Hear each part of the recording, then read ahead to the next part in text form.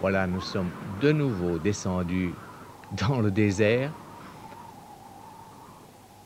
Et même dans le désert, il se peut qu'il pleut. Euh, c'est très rare, il paraît que tous les dix ans, une fois, il y a une averse qui tombe sur le désert. Alors, en une fois, en quelques euh, jours de temps, toutes les semences qui, étaient restées dans le sol, qui ne se développaient pas, toutes les bulbes se développent et provoquent une floraison absolument extraordinaire. Voilà les calandrinas en fleurs, de, véritables prairies d'hélices. Comme une autre espèce de des, des, narcisses, enfin beaucoup de plantes que nous connaissons qui sont tout de même très proches, Scholzia, coquelicots de Californie, des cactus qui en profitent aussi pour fleurir. Et cette végétation est très éphémère. Deux semaines, trois semaines après, eh bien, elle aura complètement disparu. Ce désert qui était tout vert pour 15 jours, n'est-ce pas, sera de nouveau tout gris et tout mort.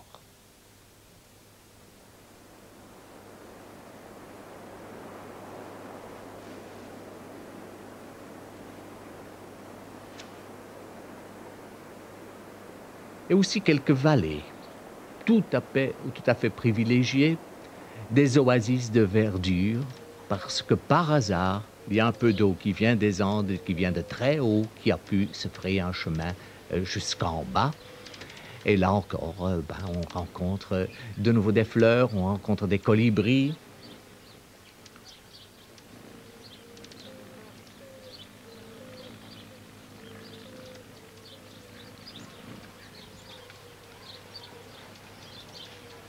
Et nous allons poursuivre ce voyage en suivant de nouveau le Condor, bien sûr, pour reconnaître et découvrir d'autres régions de la chaîne des Andes.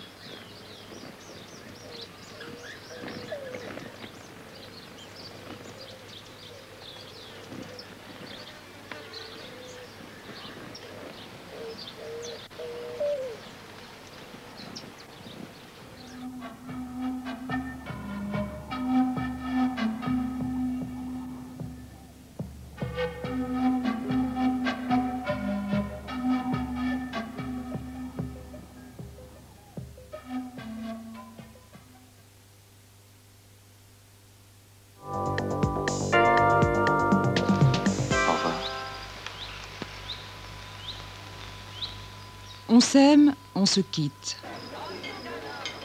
Je crois que parfois on est fait pour quelqu'un d'une façon fulgurante. Et lorsqu'on le rencontre, tout est bien, tout est évident. Malheureusement, ça ne dure pas. Alors, si un jour je sens que c'est fini, ou, ou si c'est vous qui le sentez, il faudra se le dire. On va pas commencer à penser à la fin. Comment se passent les ruptures? C'est Patrick. Bon, écoute, je sais que tu vas m'en vouloir, mais je viens pas. Si tu fais ça à ta fille, tu ne la vois plus pendant six mois. Comment vit-on par la suite les séparations Où l'as-tu rencontré Bonjour. Comment allez-vous Qu'est-ce qu'il aime, Marius Marius, il aime le blanc comme sa mère. pas, lâche pas. L'après-rupture est le sujet que vous propose Jean-Jacques Jespers dans notre prochain écran témoin. J'ai besoin d'être seule. Je te dérange? J'ai besoin d'air. Madame est changeante. Avec, pour illustrer le débat, un film signé par Claude Berry. C'est vraiment un beau petit.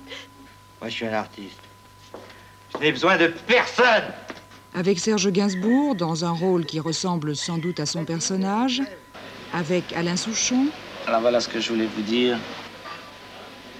Je suis veuf. Avec Gérard Depardieu, Catherine Deneuve, Jean-Louis Trintignant.